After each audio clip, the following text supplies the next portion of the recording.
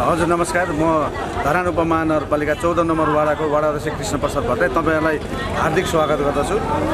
यो अहिले जुन दोस्रो कुम्भ मेलाको चतारधाममा सुरु हुँदैछ यो चाहिँ पिण्डेश्वर मन्दिर परिसरबाट विशेष पूजा रुद्र लघु रुद्र अभिषेक सम्पन्न भइसकेपछि यहाँबाट चाहिँ तपाईँलाई त्यसको फुलपातीहरू लिएर चाहिँ यो कलश यात्रा सुरु हुन्छ। कलश यात्राको आज हाम्रो भनेको चाहिँ इटरी हुँदै विराटनगरसम्म समय मिलेछ भने विराटनगरसम्म पुर्याउने यदि समय मिलेन छ भने इटरीबाट चाहिँ तपाईँलाई झुम्का हुँदै चत्रधाम पुर्याउने योजना छ। र हामीले अहिले यो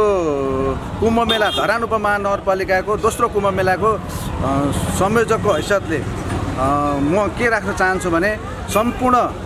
आन्तरिक र बाहिरबाट आउने धार्मिक भक्तजनहरूलाई चाहिँ म के अनुरोध गर्दछु भने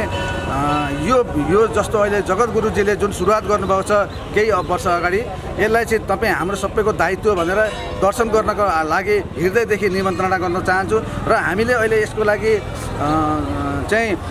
विशेष स्वागत गेटहरू त्यस पछाडि यहाँबाट आउने भक्तजनहरूलाई चाहिँ हामीले रुद्राक्षको माला लगाएर स्वागत गरिरहेका छौँ खानेपानीको व्यवस्था गर्दैछौँ। भोलिदेखि एउटा स्वास्थ्य केन्द्र पनि हामीले स्थापना गर्न गइराखेका छौँ र सूचनाको हकमा चाहिँ हामीलाई यहाँ भक्तजनलाई के अप्ठ्यारो पऱ्यो भने डाइरेक्ट वडा समितिसँग सम्पर्क राख्नुहोस् अब वडा कार्यालयसँग सम्पर्क राख्नुहोस् अथवा यहाँको हाम्रो व्यवस्थापन समितिको संयोजक सहसंयोजक चाहिँ हाम्रो बाबाधाम समितिको विकास बनेपालीजी हुनुहुन्छ उहाँसँग सम्पर्क राख्नुहोस् भन्ने हिसाबले अगाडि बढिरहेका छौँ र म सम्पूर्ण देश विदेशमा रहनुभएका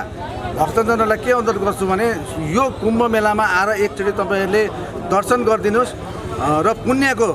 भागीदार हुनको लागि म हृदयदेखि अनुरोध गर्दछु। धन्यवाद। यो हामीले जस्तो एक महिनासम्म नै हामीले चाहिँ खानेपानीको व्यवस्थापन गरिदिएका छौँ। त्यस पछाडि यहाँ आउने भक्तजनहरूलाई रुद्राक्षमा रुद्राक्षको माला लगाएर स्वागत गरिदिने। त्यस पछाडि कोही भक्तजनहरू घाइते हुनुभयो बिरामी हुनुभयो भने चाहिँ स्वास्थ्य केन्द्र भोलिदेखि हाम्रो यही बाबाधाम समितिको कार्यालयमा सुरुवात गर्दैछौँ। र कुनै अप्ठ्यारा भएछन् भने हामीले हामीसँग डाइरेक्ट हामी यहाँ चाहिँ चौबिसै घन्टा बस्ने भनेर हामीले निर्णय पनि गरेका छौँ र उहाँहरूलाई परेका अप्ठ्यारोलाई अथवा उहाँहरूका समस्यालाई समाधान गर्नको लागि हामी सम्पूर्ण लागेर गर्ने भन्ने हाम्रो लक्ष्य छ र धरान यो पिण्डेश्वर भनेको चाहिँ यो समुद्र मन्थन गर्दाखेरि चाहिँ तपाईँलाई चाहिँ निक्लेको जुन छाली हुन्छ छालीलाई चाहिँ ब्रह्माले चाहिँ पिण्ड जस्तो बनाएर चाहिँ यो राखेको ठाउँ भएको हुनाले यहाँबाट चाहिँ हामीले कुम्भ मेलाको सुरुवात भनेको नै पिण्डेश्वर